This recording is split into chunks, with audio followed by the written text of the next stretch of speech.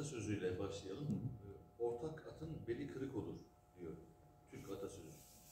Yani ortaklığa zaten hani bünye olarak, genetik olarak biraz e, şeyiz, yaklaşımımız e, uzak. Hani Türk kültüründe böyle ortak bir iş yapmak kolay değil. Türkiye'nin her yerinde bu var. Ama Zonguldak'ta maalesef bu misliyle var. Hani Kara, e, özür dilerim, Kayserililer, Gaziantep'liler, Kocaeli'ndeki sanayiciler bu kümelenme, bir araya gelme işlerinde epey mesafe aldılar. Güçlerini birleştirmeyi, beraber e, işte joint venture yapmayı, başka fonları bir araya getirmeyi falan öğrendiler. Ama Zonguldak'ta tahmin ediyorum e, ya da benim okumam şu, Zonguldak'ta bu işin ekstra zor olmasının sebebi biliyorsunuz bu gurbetçilerimizin sermayelerinin Zonguldak'a transfer edildiği bir 30-40 yıllık bir dönem var.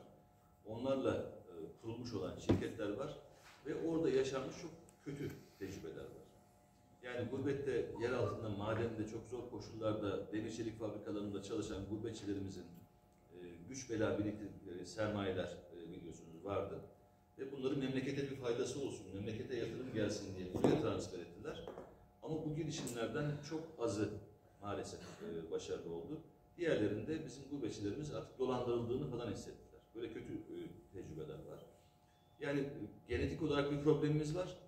Türkiye'nin belli yerleri bunu aştı ama Zonguldak'ta maalesef bu kötü tecrübelerin kalıntılarını hala silebilmiş değiliz. Yani biz sanayi sitesi kooperatif kuracağınız zaman bile zorlanıyoruz. Hani mevzuat belli, sanayi sitesi ne işe yarar, yolu nedir, yöntemi nedir, devletin sunduğu avantajlar nedir? Bunları çok net anlatıyorsunuz. Ve e, aslında herkes bireysel olarak kendi işini yapıyor ama devlet bir kooperatifte birleşmenizi istiyor. Yani orada bile insanları bir araya getirmekte. Ama bu bizim e, uğraşmamız gereken bir başlık, kafa yormamız gereken bir başlık. Biz her fırsatta o geçmişin kötü izini silmeye, iyi örnekler koymaya gayret edeceğiz. Çözüm- çözüm noktasında da- Özellikle iktidar partisi milletvekili Çolakoğlu'nun bu projeyi engellediği gibi bir iddialar var. Ee, siz bu konu hakkında bilginiz var mı? Ne düşünüyorsunuz? Projeyi engellediği yönünde değil, benim şöyle bir kanaatim var. E, Sayın Çolakoğlu tabii bu bölgenin Çaycuma'nın e, siyasetçisi. Çaycuma'daki ahalinin bu projeyle ilgili vardığından emin olmak istiyor. Yani o da şeye bakıyor, esnaf odası ne diyor, diğer ilçe başkanları ne diyor, çevre örgütleri ne diyor, bizim ticaret sanayi odası ne diyor. Yüzde yüz bir mutabakat elbette mümkün olmayacak. Yani her konuda e, herkes uzlaşacak diye bir kaydı yok. Ama e, Sayın Milletvekilimiz Çolakoğlu'nun da oradaki beklentisi en azından bir çoğunluğun bu konuda mutabık olmasını e, bekliyor. Benim anladığım o. Ne kadar bekleyeceğiz? Yani bu bekleme ne kadar devam edecek? İş işten geçtikten sonra. Şöyle Çaycuma Ticaret ve Sanayi Odamız bu konuda bir girişim başlattı. Bir başlangıç toplantısı yaptı. Bu araziyi nasıl değerlendirmek lazım diye. E, çeşitli kurumlar katıldı. E, geçen gün e, Sayın Kamitoğlu'yla başkanımızla konuştuğumuzda ikinci toplantının, üçüncü toplantının planlamalarını yaptıklarını öğrendik. Yani sağ olsun Çaycuma Ticaret ve Sanayi Odamız orada bir e, süreç yürütüyor. Yüzde yüz olmasa da e, çoğunluğun e, tamam diyeceği bir formül e, arayışı var. E, İnşallah oradan yakın zamanda bir sonuç çıkar ve bu tarihi fırsatı kaçırmayız. Başkanım bu ticaret sanayi odaları anlamında e, Zonguldak Ticaret Sanayi Odası başrol mü oynamalı? E, birinci derecede siz mi e, öncelik yapmış olmanız lazım ve diğerlerine mi bakmak lazım? Yani burada bir e, Cumhurbaşkanı misali bir patron olması lazım. E, yönetmen anlamında.